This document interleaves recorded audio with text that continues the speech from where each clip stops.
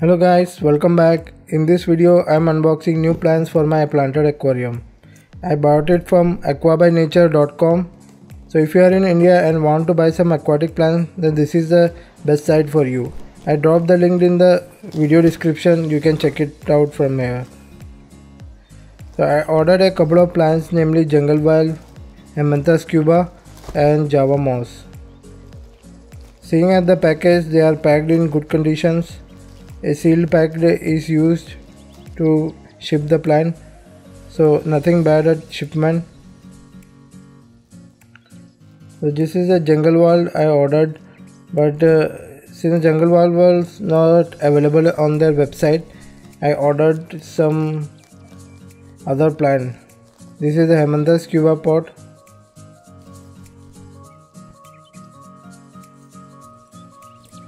so some damage has occurred to the leaves.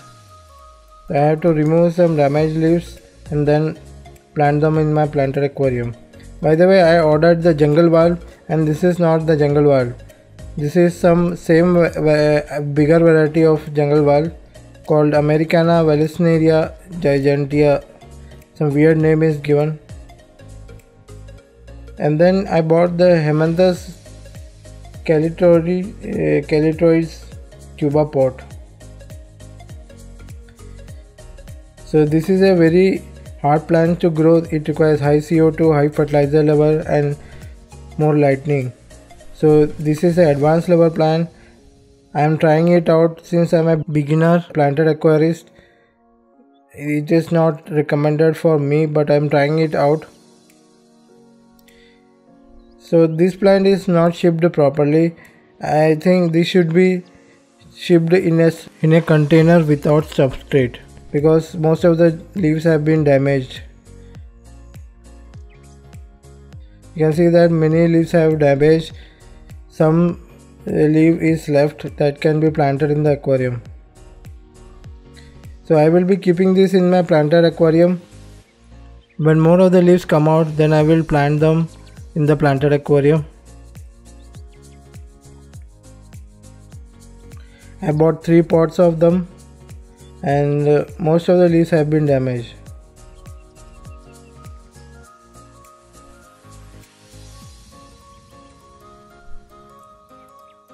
So this was the jungle wild I am talking about.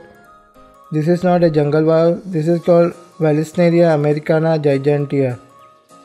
So this is a variety of jungle wild that can be used on the background and it is already looking good at the background. You can see I have transferred it to the discus tank and it is looking very great.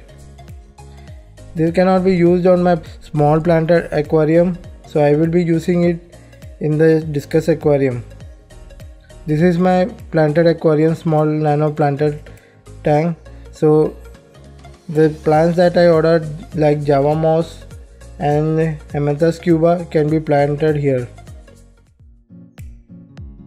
so i'm keeping the Hemianthus cuba pot in the aquarium since it is damaged and requires more leaves to come out. So when it grows out to a good condition i will plant them in my planted aquarium.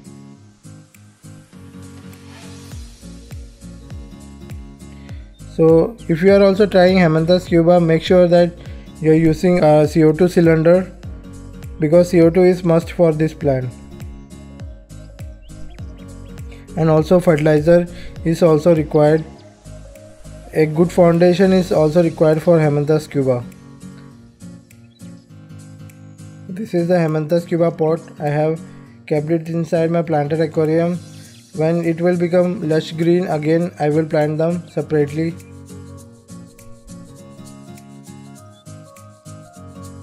This is a good carpeting plant and it requires CO2 injection also you required iron potassium and some Stress Zyme for uh, aquarium which requires Hemianthus cuba or any other plants that require high CO2 and fertilizer level.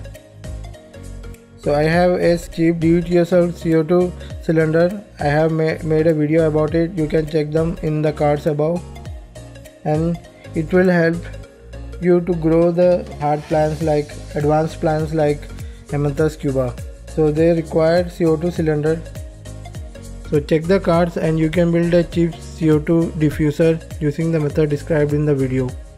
So in couple of weeks they will be growing out and I will be planting them.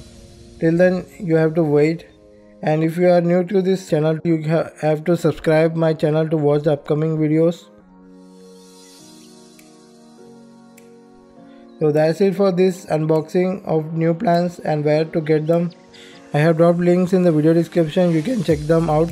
Until next video bye and take care and thanks for watching.